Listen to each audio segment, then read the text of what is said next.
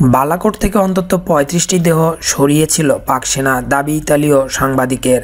বালাকোটে জশি ঘাঁটি লক্ষ্য করে ভারতীয় যুদ্ধবিমান মিরেস টু থাউজেন্ডের বোমাবর্ষণের কিছুক্ষণ পরেই ঘটনাস্থল থেকে অন্তত পঁয়ত্রিশটি মৃতদেহ সরিয়ে ফেলেছিল পাক সেনা মৃতদেহের মধ্যে ছিল জশি জঙ্গি, প্রাক্তন পাক সেনা কর্মকর্তা এবং প্রশিক্ষণ নিতে আসা আত্মঘাতী ফিদায়ের সদস্যরাও। পাকিস্তানের স্থানীয় প্রশাসনের কর্মীদের কাছ থেকে অত্যন্ত গোপনীয়তার সঙ্গে এই খবর জোগাড় করেছেন ইতালীয় সাংবাদিক ফ্রাসেসা মারিনো। তা প্রকাশিত হয়েছে ফার্স্ট পোস্টে। নাম প্রকাশে অনুচ্ছেদ স্থানীয় প্রশাসনের প্রত্যক্ষদর্শীরা মারিনোকে জানিয়েছেন বোমাবর্ষণের পরই ঘটনাস্থলে পৌঁছেছিলেন স্থানীয় প্রশাসনের কর্তারা। কিন্তু ততক্ষণে পুরো এলাকা ঘিরে ফেলেছিল পাকিস্তানের সেনাবাহিনী। পুলিশকেও ঘটনাস্থলে ঢুকতে দেওয়া হয়নি। যারা অ্যাম্বুলেন্স নিয়ে এসেছিলেন, সেই স্বাস্থ্যকর্মীদের মোবাইল ফোনও কেড়ে নিয়েছিল পাক সেনাবাহিনী। মারিনোর দাবি, ভারতীয় বোমার আঘাতে নিহত হয়েছে পাক গোয়েন্দা সংস্থা ইন্টার সার্ভিস ইন্টেলিজেন্স এর এক প্রাক্তন অফিসার, যাকে কর্নেল সেলিম বলে চিনতেন স্থানীয় বাসিন্দারা।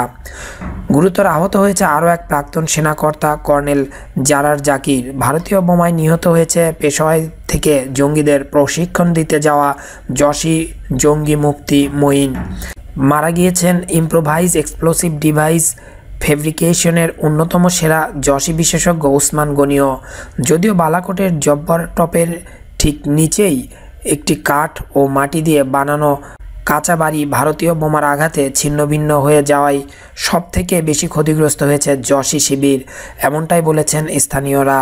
কারণ প্রশিক্ষণ দিতে এই বাড়িতেই রাখা হয়েছিল যশের ফিদায় বাহিনীর বারো জন সদস্যকে। বোমার আঘাতে নিকেশ হয়ে গিয়েছে তারা প্রত্যেককেই, এমনটাই দাবি মারিনোর। ভারতীয় বোমার আঘাতে কতটা ক্ষতিগ্রস্ত হয়েছে যশি শিবির তা নিয়ে গত মঙ্গলবার থেকে চলছে চাপানুতর ভারতীয় সেনাবাহিনীর দাবি, তারা যা করতে চেয়েছিল তা করতে পেরেছে। যশি শিবিরে কতটা ক্ষতি হয়েছে সেই তথ্য প্রমাণ তাদের হাতে আছে।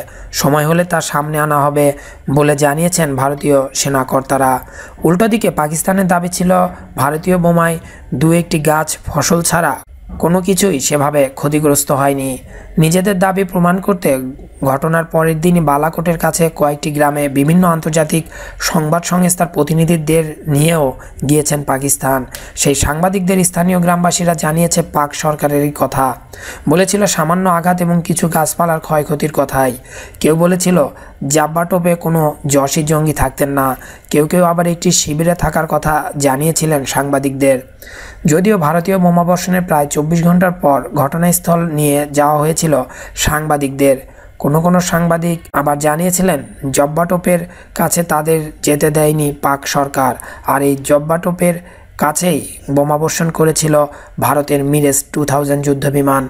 মারিনের দাবি অত্যাধুনিক সিনথেটিক অ্যাপাচার র্যাডার দিয়ে তোলা ছবির মাধ্যমে ভারতীয় গোয়েন্দারা জানতে পেরেছিলেন, জব্বা টপের ঠিক নিচে পাহাড়ের গায়ে চারটি যশে কাঠামো ধ্বংস করেছে ভারতীয় যুদ্ধবিমান। কিন্তু সেই ছবি এখনও সামনে আনেনি ভারত। এক মার্চ ভারতীয় গোয়েন্দা সংস্থা রিচার্স অ্যান্ড অ্যানালাইসিসের একটি গোপন বৈঠকে পাঁচটি মৃত্যু নিয়ে নিশ্চিত হওয়ার পাশাপাশি আরও অন্তত বিশটি মৃত্যু হতে পারে বলে অনুমান করেছে ভারতীয় গোয়েন্দারা। এমনটাই জানাচ্ছে ওই ইতালীয় সাংবাদিক। জব্বা টপের উপরে একটি মাদ্রাসাই ছিল ভারতীয় বিমান বাহিনীর লক্ষ্য।